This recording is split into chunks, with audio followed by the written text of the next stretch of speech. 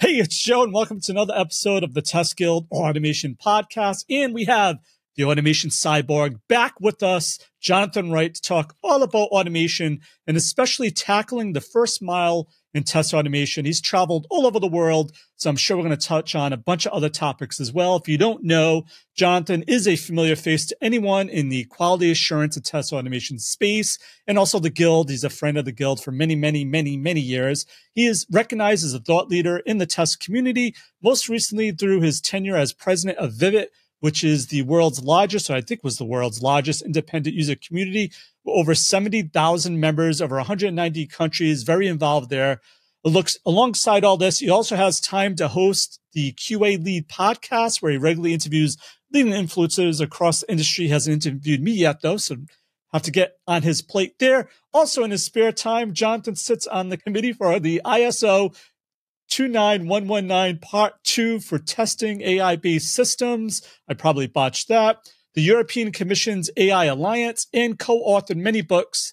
Uh, but the one that I think I have here is AI in Testing with Rex Black, maybe the most recent one, besides my book, which he did contribute to as well. So if you haven't got that, definitely check it out. He has really great advice on the uh, automation testing scorecard dashboard everyone needs to know about. So pick that up as well. And also, what else can we say about Jonathan? He is also proud. He's been actually on the eggplant team for a while now uh, for the Keysight Technologies as the chief technology evangelist, and he's really rocking the the the role. Uh, I love him here, and uh, he's working with some high end, great tech for automation. If you haven't tried Keysight Technologies, especially Eggplant, you definitely want to check that out after this podcast as well. All right, let's bring Jonathan in. Hey, as always, Jonathan covers a lot in this episode. To see many of the things we actually talked about in action, check out his webinar, The Road to Zero Manual Testing, Leveraging Automation, that's happening on Tuesday, August 29th, to actually see how to overcome the challenges of complex and time consuming manual activities they also have an excellent panel of experts that are going to be there as well, like Hamza Ahmad,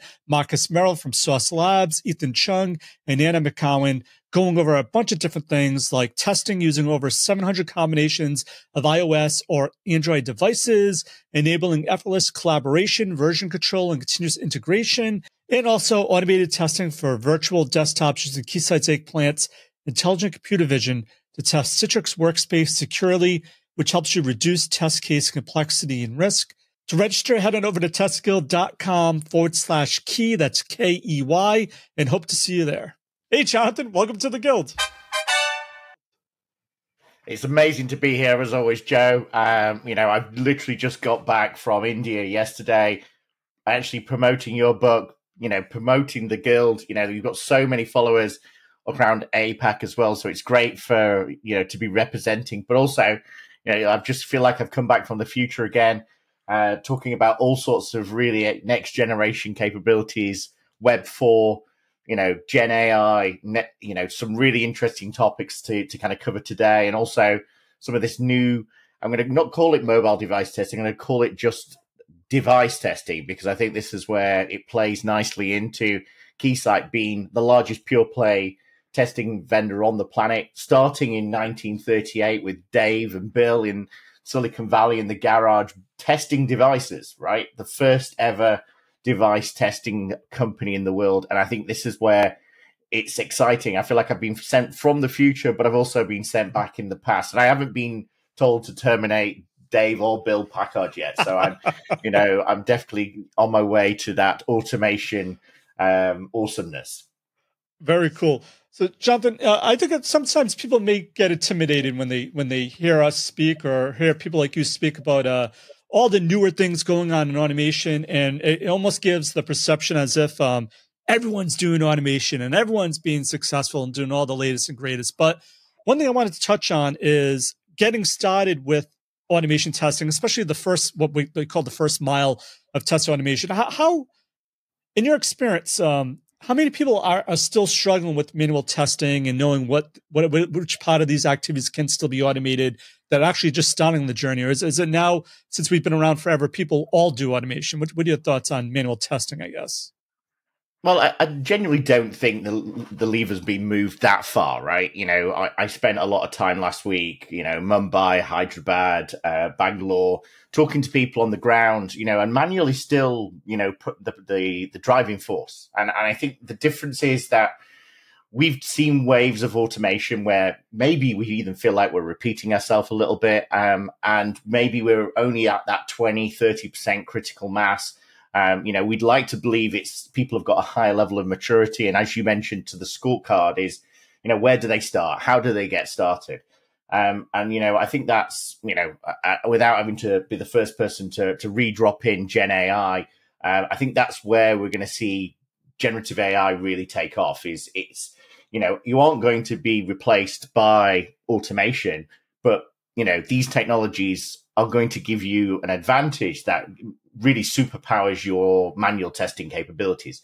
I think that's what we've had to pivot to a little bit because I think this focus of replacing humans with machines, as I mentioned, being sent back from time, that's not going to be the future, right? It's it's augmented testing. It's the ability to augment your capabilities as part of session based testing that allows you to be smarter, more intelligent, uh, and utilize some of these tools. And that's the difference. You won't be replaced by a machine, but you will be replaced by other people using smarter tools.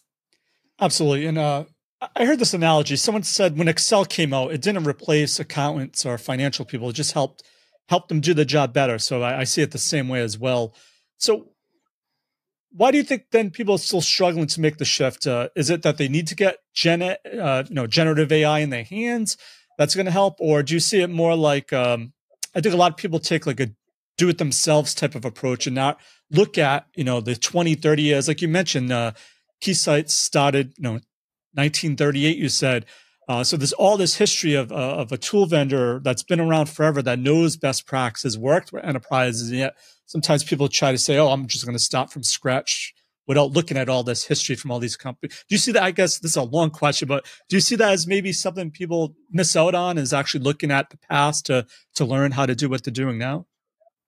Absolutely. And you know, go back to Dave and Bill, right? They were build and test, build and test, build and test. And the difference was it was Gen 1, Gen 2, Gen 3, you know, Mark 5, Mark 6, Mark 7, like Iron Man, you know, with each new suit tool, uh, came out suit new capabilities, right? And those new capabilities started becoming part of the products and it gave the people that they provided those tools. So I remember back in 1938, the first device, the 200D, they gave to Disney to create the first stereo channel in Fantasia, right?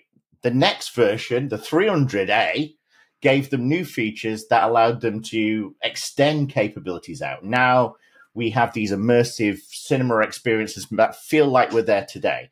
As we evolve, and so do the tools that evolve with us, the maturity does. And I think I'm not going to kind of go against what the industry might have kind of pointed us to say, look, let's all shift left, right? Let's try and do things, build our own tools, right? Let's be Dave and Bill in that garage and start from scratch and it's this t- it's tempting, right? You know, if you look at some of the great frameworks that are out there, like Playwright, like Cypress, you know, it, you can get started with, and you can do really powerful things. The difference is, is your company an automation company, or do you want to leave the creation of the tools to people who are working, like my Cambridge R and D team, who are working on quantum use cases for for testing, right? And I've got two quantum physicists and an astrophysicist working on these kind of next generation capabilities. Do you need to hire those people? Or is your core business actually what's more important? And I think this is where we're getting to now. It's the same as what we started on with the days of TSL, test script language, is actually it doesn't really matter, you know, understanding code and being able to, to understand the, the, the ability to build these things, to have these skills, absolutely. But actually, we're going to see those, I think we're going to see those disappear you know, I've just literally this morning filled in a, and I'm speaking at Gartner next month about Web four and ge- generative AI, uh, offline generative AI, large language models. What we've trained ourselves, which is Testers GPT, which is a, our own large la- proprietary large language model, which will auto- automatically generate you code, test at the UI API level, at 95%. You know, the, the large language model's trained at 4K, but it can do about 85 to, to 95% accuracy. And you just kind of look at it and you think to yourself, yes, I could write my own Zap tests or my own, um, you know, playwright scripts, or I could get this to build 95% of it. And then I do the last 5%. Or, you know, what's more important with the augmented testing is that it's my intelligence that I, you know, human in the loop. You know, that's the really interesting stuff about this is our domain expertise is incredibly valuable and we don't give it enough credit, right? We kind of want to believe that, you know, we need to be tool experts when we don't. We need to be test experts and domain experts. And I think we'll see that shift. And also, we don't need to be prompt engineers, right? You know, I think this is kind of where we're starting to look at the, the industry and people kind of want to commit to one thing. And it was the same as what we did. We loved building frameworks. We loved difficult solutions, but maybe we didn't need to. And, and maybe we actually wanted to use our skills, which was in healthcare or in financial services, and really enable automation to go that extra bit because everyone's getting to that 65, 75% uh, and I'm going to, you know, utilize the word auto ops, you know, automation operations, is you're starting to see automation everywhere, not just testing. And I think that's pipeline, that's security, that's everything as code. Okay, how do we do that, right? Chaos engineers, site reliability testing, all of these new kind of capabilities you might not be experts in, but you can leverage them to be able to build handoffs that are automation everywhere. And I think this is where it's quite exciting going forwards. And I think there's going to be so many more opportunities for us as automation uh, people to actually start leveraging this technology.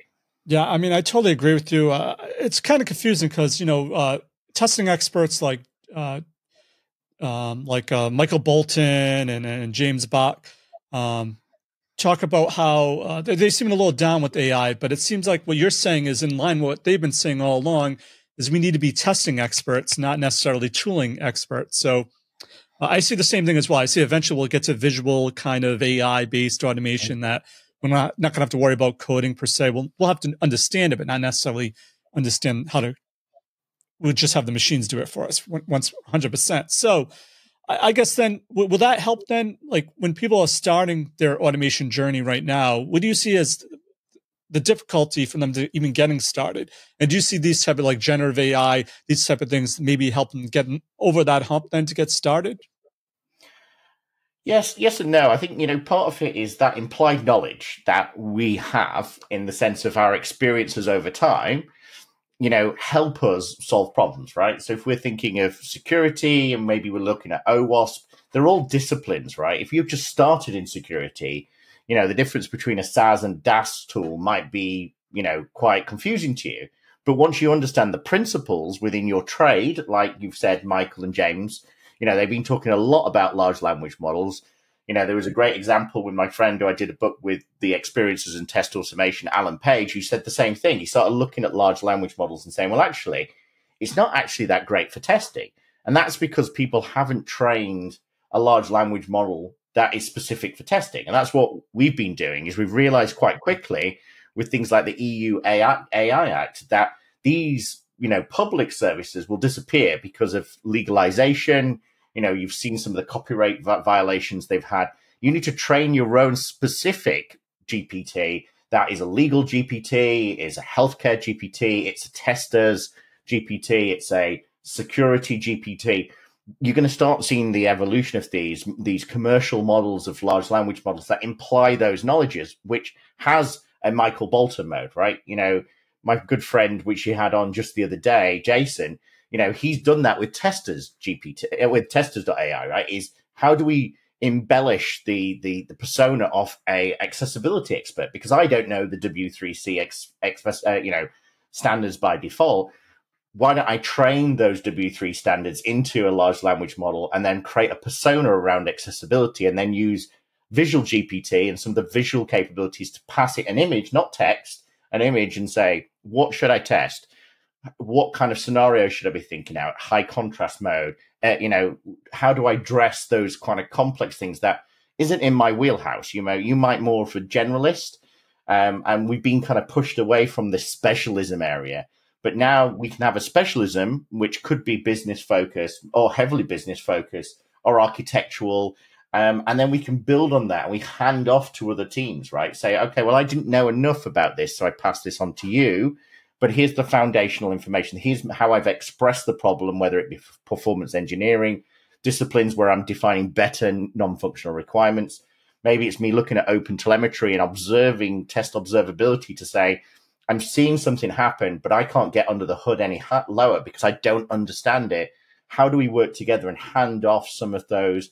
What was chat ops and this kind of this view towards, um, you know, conversational AI? How do we start passing through divisions to work more efficiently, become more lean? And I think that's the thing is the barrier of entry will be lowered. People who already got skills will have either more superpowers. The people who are on that journey and maybe need support to kind of get to a point where they understand the fundamentals.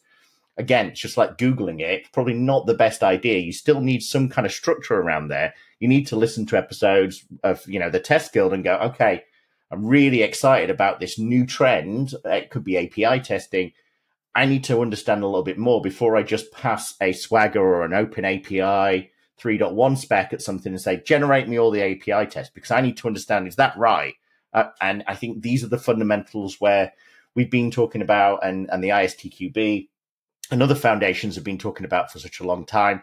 My good friend Paul Gerrard has just created something called the Test Engineering Society, which um, he's started building this capability where it defines from every single different type of uh, group, whether you're a content uh, driven one camp or you're in an ISO or an ISTQB, uh, what is pairwise testing? What is exploratory testing? Tell me these definitions. Get me started because I need to progress my uh, my my career. And what what he's done, which is remarkable, is he's actually made it so we can get a chartered status as a tester, uh, recognized as a tester based on peer reviewed from other testers, not just uh, I've sat an exam, which we know ChatGPT can do now.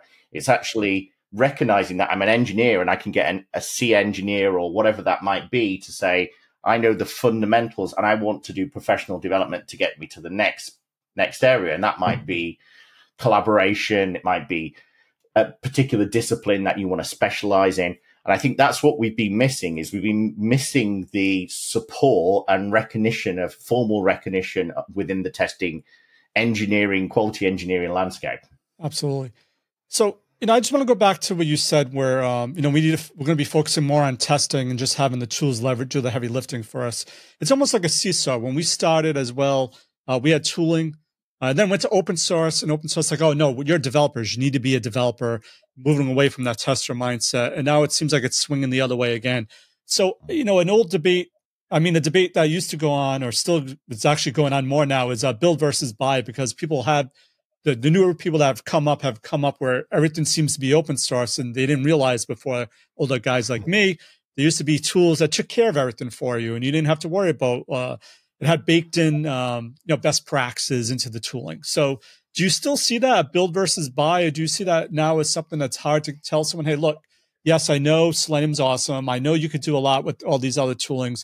We're not saying it's bad or not to use it, but maybe you could use a, a, another solution that sits on top of that that has all this knowledge baked into it.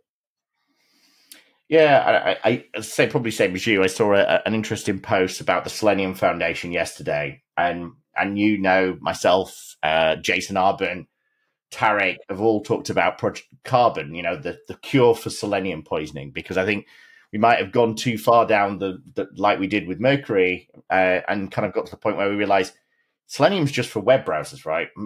Yes, that's great. But, you know, how many web browsers do you really use every day now? Yes, you probably did 10 years ago, but now we're using apps, we're using generative, we're using Web3 technologies decentralized internet, you know, messaging layers, Kafka, all of those aren't browsers, right? And so I think part of it is we've done a really great thing, which is we've created a W3 standard for web browser automation. That's really going to help things go forwards. But actually, I think we've realized that enterprise scale of automation is much, much more and scaling automation is hard. And I think part of what we're seeing, and I've, we've just finished, uh, I've got a, I've got a meeting straight after this one with Blore. Uh, I had uh, my IDC call this morning, and the results that they started looking at are, you know, there's a, a shift towards, you know, this build versus buy because it's really quite difficult to justify, especially in this tech permi crisis at the moment, resources spending time doing maintaining scripts. And then I would argue, and this is probably the the bit which I will kind of reiterate a little bit, is that just having test scripts is is slightly meaningless. You know, if I've got a thousand scripts, what does that mean? You should have two thousand scripts, or should? And I know we covered this in this open our open testing session. Is we need to understand from a different dimension. We need to know from business orientated metrics. What does this mean for my business? I've got more confidence that I'm able to release earlier. I've got more confidence that uh, my products at the quality that we have defined organizationally wide scaling quality upwards, you know, shifting up, you know, understanding the dependencies or even potential for, you know, failure, chaos engineering, you know, all these new types of challenges. And we're addressing our customer base. The customers at the center of everything we're doing. We're getting the constant feedback. You know, we're able to bring features to market that are relevant, that are, you know, we're observing from, you know, different shifting right approaches that they're using in the right kind of way. And I think it's so complicated that we've been tempted to just say, okay, let's look at a linear journey and cover that linear, linear journey off like we did in the 90s. And I think now that is irrelevant. You know, it's it's now having a look and changing the game. And so, you know, what I'm going to be talking about at Gartner, but uh, you know, I've been uh, talking quite a lot about is this automated test assurance. Is how do we create a let's call it a scorecard. You know, you mentioned it earlier on, but giving companies a grade. You're at, currently at C, which means you've got people, process, technology. You've got maybe security, maybe you've got your pipeline stuff. You're at certain levels, so we're able to say, okay, you're at B, but you want to be at A. These are all the things that you need to be able to do. This is how we need to mature from it as an organization wide company. Is how we have to scale you know how we bring all of those components mobile whatever else it was performance how we bring all of those up to the level they need to be? Now, aspirationally, we've seen from every device on the planet, it'll have a CE stamp on it, to, a quality, you know, a certificate to say that that product will work. It will work in certain circumstances. We need to do the same with software. And we've been, you know, in the eye of the beholder for a second. We've been kind of confident. Well, you know, Salesforce or you know, Workday, how do we know that they've not lost all their engineering capabilities? They've not bothered running any of their automation scripts or performance scripts, and they're going to release something into production that's going to break all of these businesses' uh, critical systems? We don't. We have no idea what 4.1.5.7 is going to bring and the impact it's going to have. Whereas the DoD uh, have actually just created a modernization software modernization bill what says we'll only do business with people who are here at rank A because they know and they've learned maybe the hard way that actually software vendors are building on more and more open source and that in actual fact the complexity is scaling out of control and if something goes wrong those systems are, of systems are in their environment and they have to maintain them and if they don't understand the maturity and level of which you're delivering the quality of the, the engineering that's been brought behind it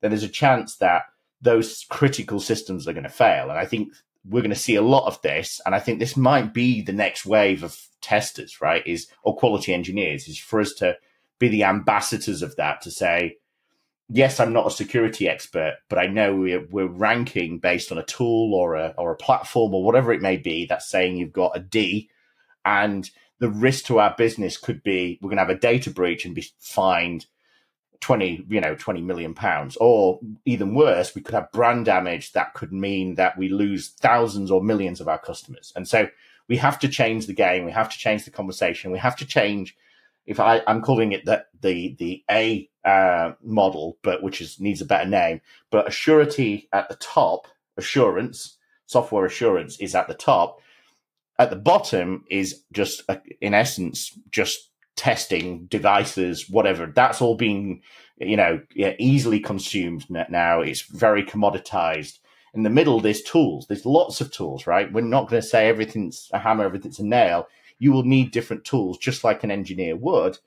And but they're also irrelevant. What's important is what these tools are doing, and we covered it with the open testing and the you know, OTAP stuff is they need to be able to provide insight and analytics and predictive capabilities that will say, I'm giving you insight to say you're missing this component this, or this kind of type of testing, and then look at remediating that as quickly as possible. Time to quality, you know, those kind of metrics, which will really be differentiator in the future. And it sounds really complicated, but actually it's really simple. Is is quality everywhere? Absolutely. Love that. So I just want you talk about complexity. I want to dive into three main points really, really quick about complexity.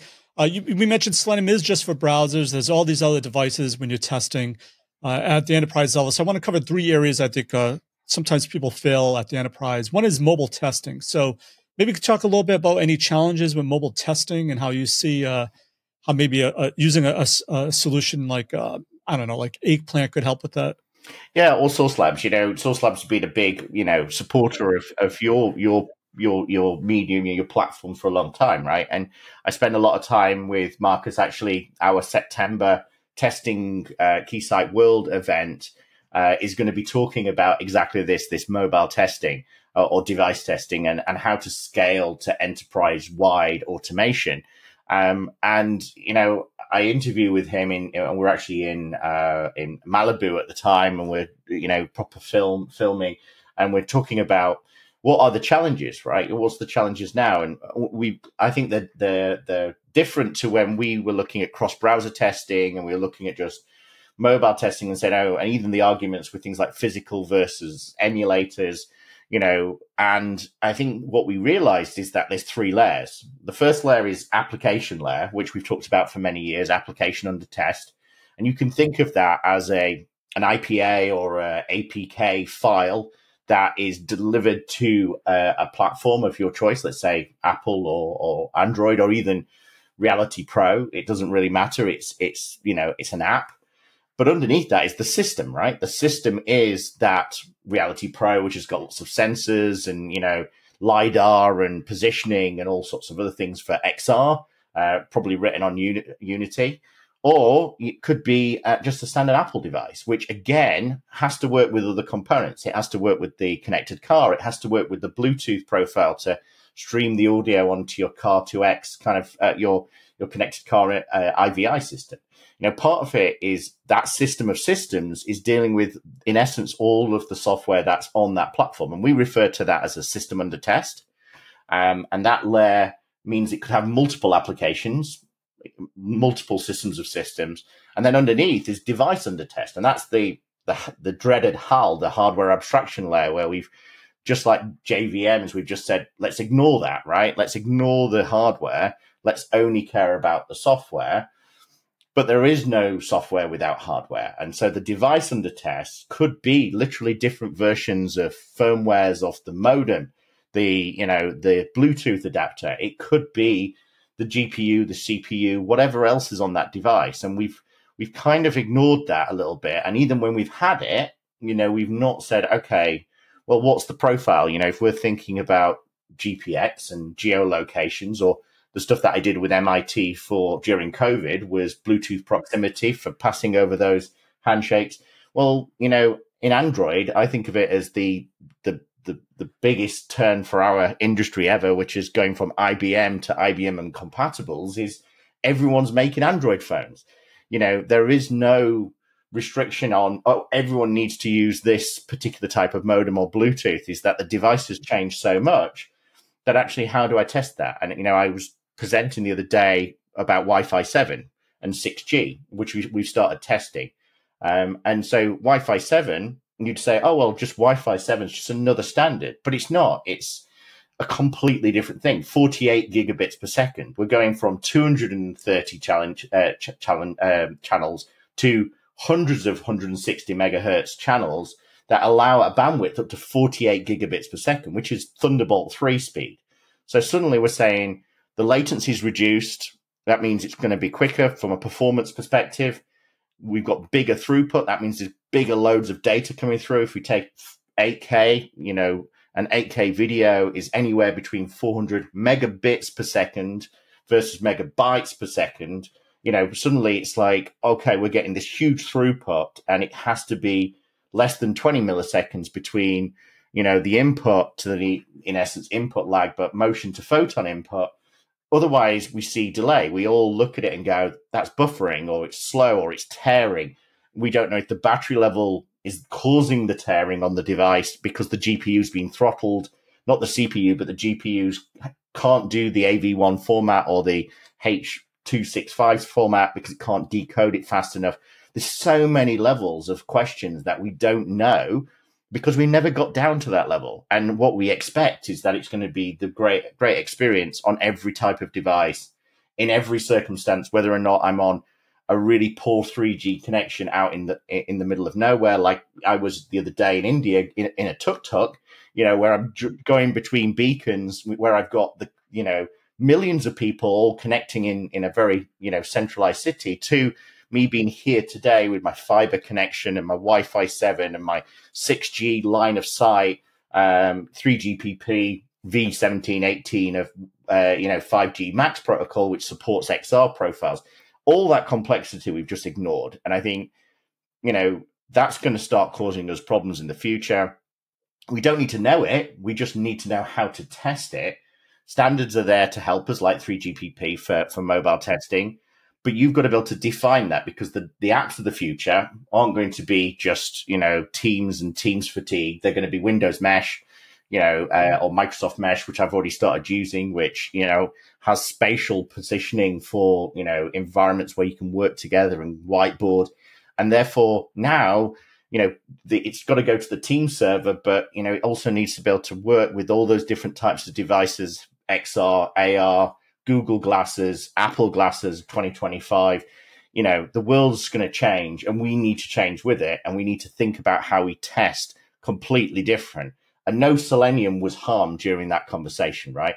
Yes, maybe some Appium was used, but under the hood, the telemetry, crash analytics, you know, backtrace from from Sauce Labs looking at, you know, every single Nintendo Switch crash that you get or every single you know Unity framework uh, you you crash if you're going to think of the new XR devices.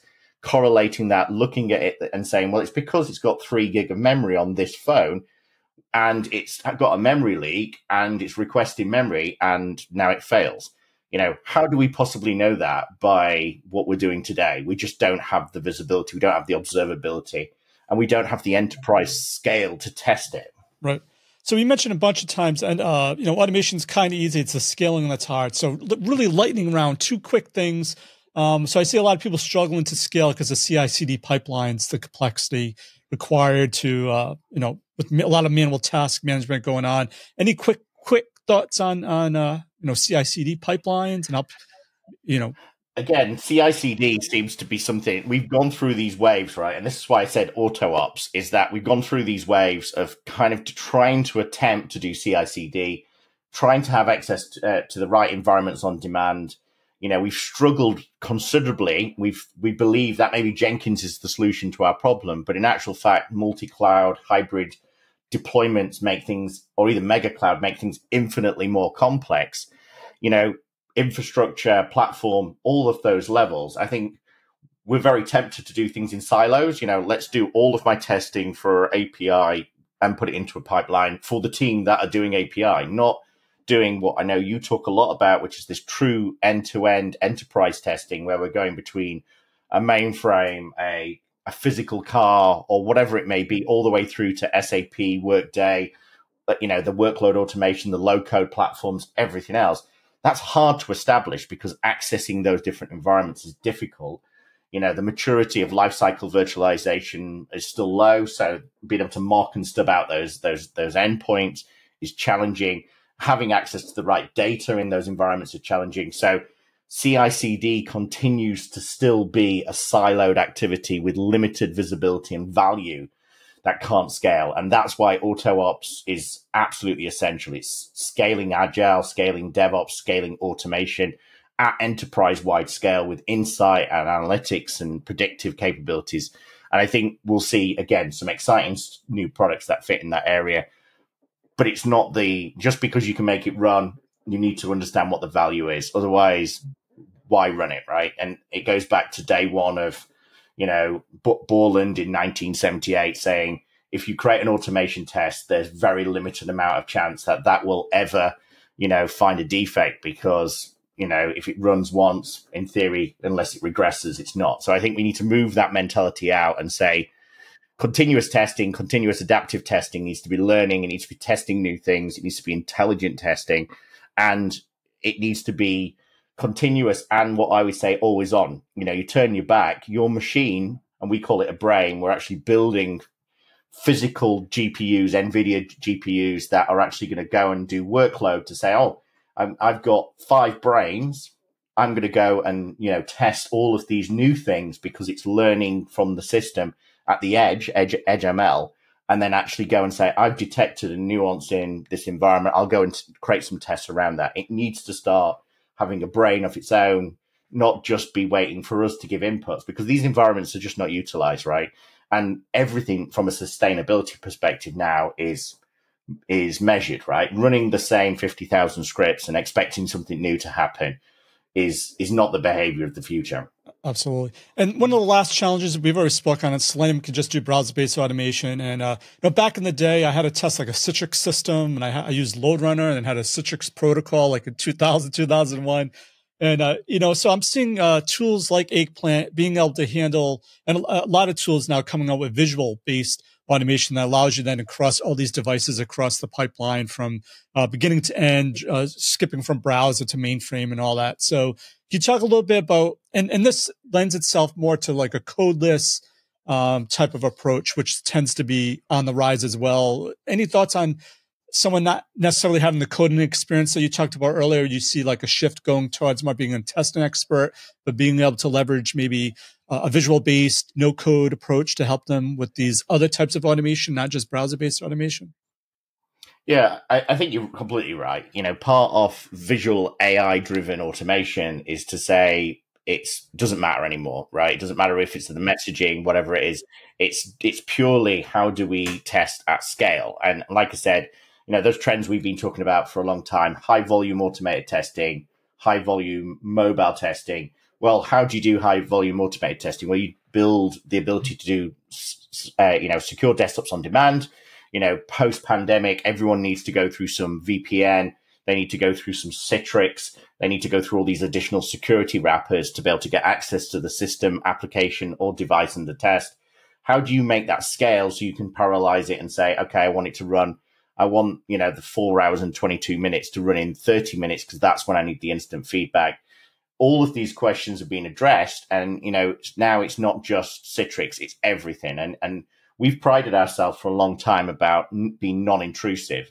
Um, and you know we again back to being a hardware company we're building these hardware at, uh, capabilities at the moment which will process computer vision at the edge. So you can literally just be, calibrate a webcam to look at a screen you know, you can literally connect the video adapter off the back of something and actually process the computer vision there instead of processing it on my my eggplant client. So that way, again, it's this new those those machines that you used to use for mining Bitcoin are going to be used for doing complex automated tasks at the edge within secure environments that provide a secure encrypted way of, of being able to access those machines and deal with the challenges of ac- accessing things which are hard to access, you know, in medical devices, you know, uh, military devices, you know, being able to test all of the things. And uh, we're using the word lab as a service, you know, and within that lab, we're going to have, you know, 6G uh, capabilities, autonomous radar emulators, battery analyzers, all available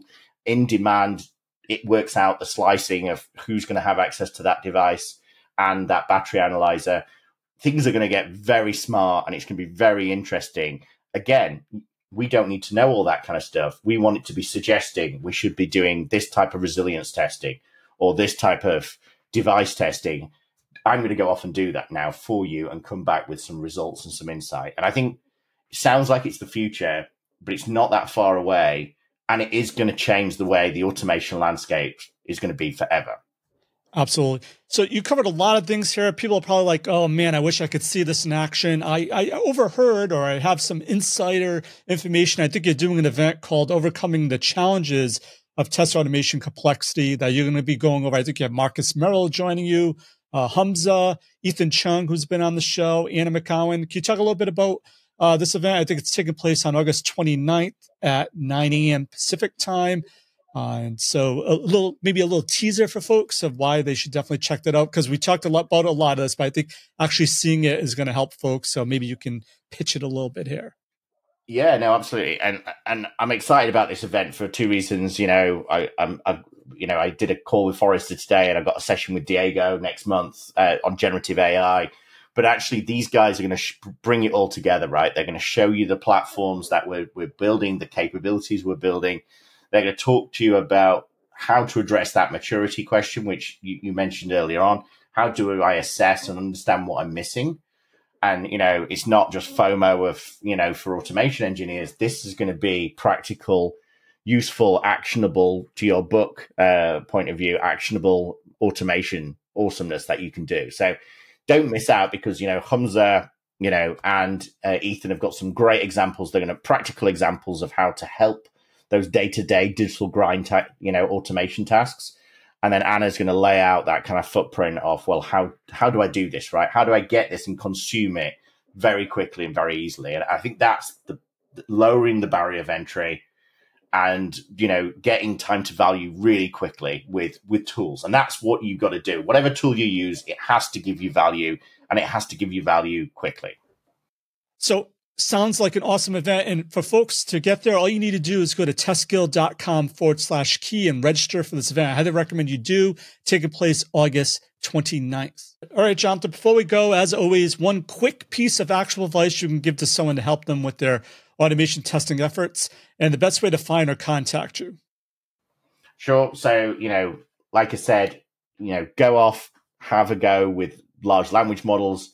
You know, there's great great tools out there. I'm going to say GPT4All, which is an, an offline model which you can bring down DALL-E and everything else and start running this, you know, building this stuff yourself. The second one would be go and look at some of the future stuff, things like automation fabric, the new definitions of the new world of bringing automation across the landscape. Go and do your own research, learn a little bit more about that. If you get stuck, you know, you can reach out to me. Of course, it's the easiest one in the world, linkedin.com slash in automation is my username. So add me in there if you need guidance on where to go and how to move. Of course, there's the artificial intelligence software testing book, which we can give out for free, uh, and we can provide that link. But also your book, which I would be I would highly recommend because every single page has notes, it has an action you can go off today and do, and that would be my recommendation. Go through that book, try these things out, learn, and reach out to people if you need help. We're here as a community to support you. And that's, you know, half the battle is finding that community and people that you can can can trust and and, and even join uh, the Slack channel, uh, which I know because you know Stephanie keeps on posting these fantastic questions of have you tried REST Assured with this, this, and this? Can anyone help? You know, that's what we need to do. Ask for help. And, you know, that's why the community is here. Thanks again for your automation awesomeness. The links to everything of value we covered in this episode, head on over to testguild.com forward slash A459. And if the show has helped you in any way, why not rate it and review it in iTunes? Reviews really help in the rankings of the show, and I read each and every one of them. So that's it for this episode of the Test Guild Automation Podcast. I'm Joe, and my mission is to help you succeed with creating end to end, full stack automation awesomeness. As always, test everything and keep the good. Cheers. Thanks for listening to the Test Guild Automation Podcast. Head on over to testguild.com for full show notes, amazing blog articles, and online testing conferences. Don't forget to subscribe to the Guild to continue your testing.